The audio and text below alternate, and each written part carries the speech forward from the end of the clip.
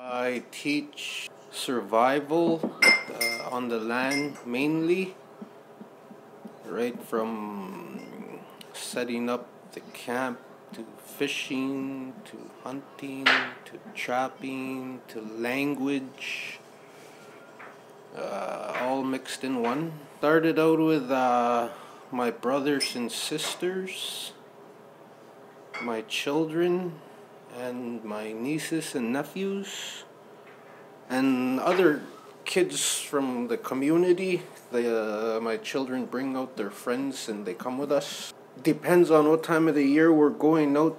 That depends on what I'll be teaching based on the time of year.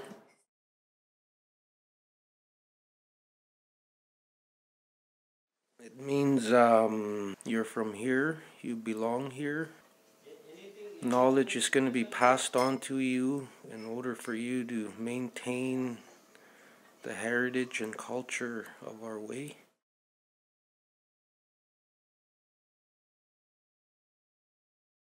For me, my year starts in the fall. That's when it's like the beginning. I fly out in the fall time and then we stay out for at least two months. In that time, uh, I start prepping for trapping.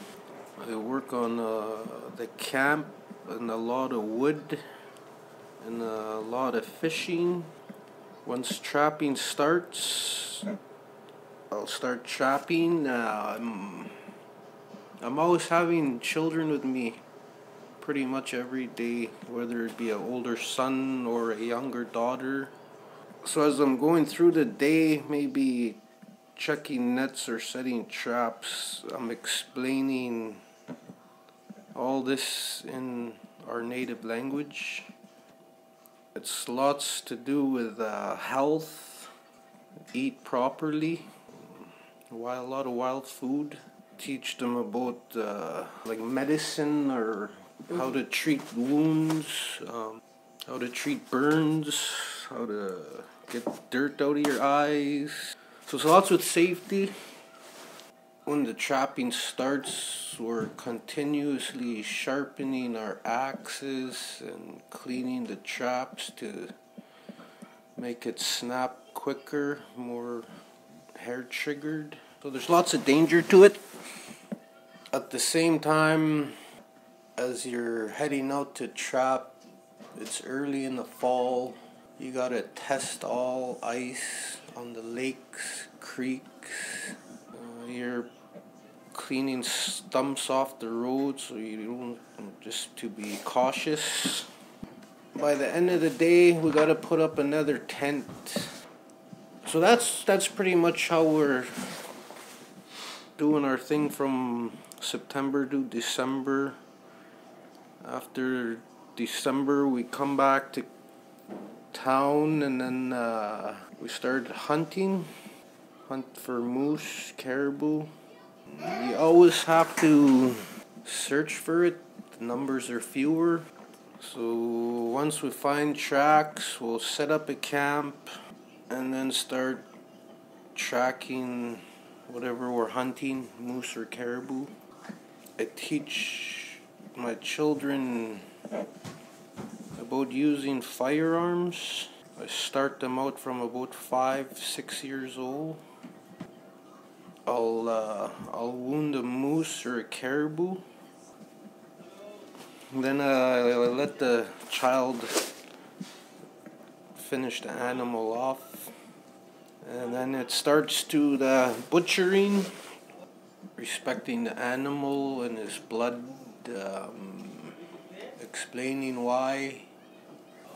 Butchering the animal in a traditional way It comes out in a whole bunch of different parts. Um, once we get home, we'll make dry meat and separate all the joints and layers of meat for roasting or boiling, uh, making dry meat.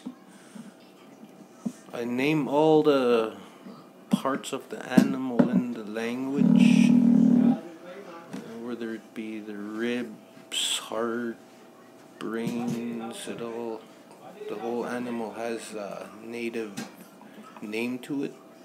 Uh, intestines, everything. And then it goes on until about April. Uh, we do uh, beaver, beaver traps, rat traps. When the water starts flowing, then we'll shoot rats and beavers. We do this until mid June, beginning of June. And then when the ice is gone in the summer, we start fishing. Uh, whitefish, trout.